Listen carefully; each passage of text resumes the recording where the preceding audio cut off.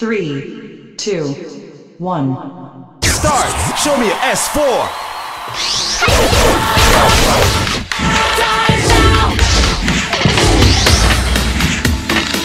Upside down!